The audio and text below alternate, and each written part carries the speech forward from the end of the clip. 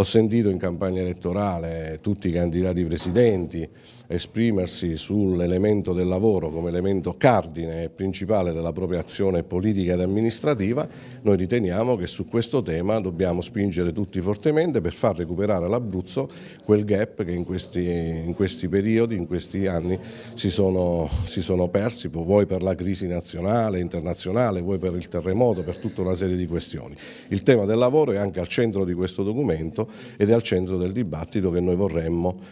fare con il prossimo Presidente della Giunta e la sua Giunta approvare il PEF per le autostrade A24 e A25, eh, la messa in sicurezza e anche il caro pedaggio, eh, eh, mettere le risorse necessarie al trasporto pubblico, eh, le aree interne, eh, la sanità e il sociale, sulla sanità abbiamo una grave carenza di personale sanitario negli ospedali, abbiamo bisogno di più medicina nel territorio, di abbattere le liste di attesa e sul sociale di eh, dare risorse per, le, per, curare le fragilità, quindi eh, le persone anziane e i disabili. La programmazione è alla base di quelle che possono essere le scelte della futura politica regionale. Strumenti di programmazione che noi riteniamo validi, da aggiornare sicuramente, ma che sono alla base di una politica industriale omogenea e organica. Per fare questo ragionare in termini di una uh, verifica e di una cantierabilità del master plan, del patto per lo sviluppo, della carta di Pescara,